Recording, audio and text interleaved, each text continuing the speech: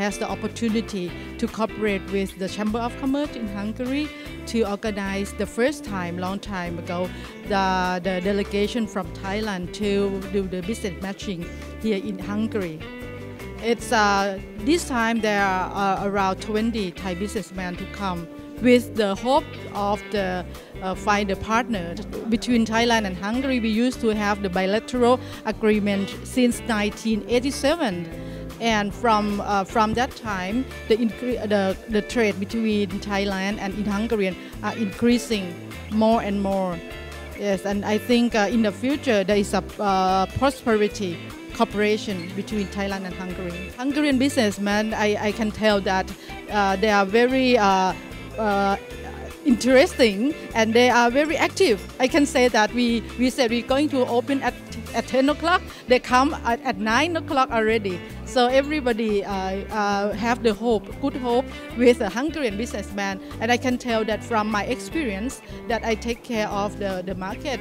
I, I said a businessman in Hungary is uh, very, very productive and, and, and uh, main product are foods.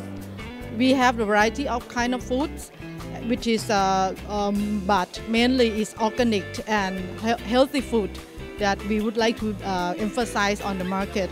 Also, we have the products, uh, spa products and uh, industrial products like air conditioned parts and things like that. Rövidesen nyílik Tájföldön egy magyar kereskedelmi és kulturális iroda, amelynek a vezetésével bíztak meg, és ez most egy remek lehetőség, hogy Tájföldről itt vannak azok a cégek, akik vették a bátorságot, hogy egy ilyen távoli országba üzleti partnert találjanak, és nekünk ez lesz a dolgunk a, a, a magyar kollégákkal összekötetésbe, hogy ott kint bankokban, akik megkeresnek bennünket, hogy Európában, Magyarországon üzleti partnereket találjanak, ebbe a segítségükkel legyünk.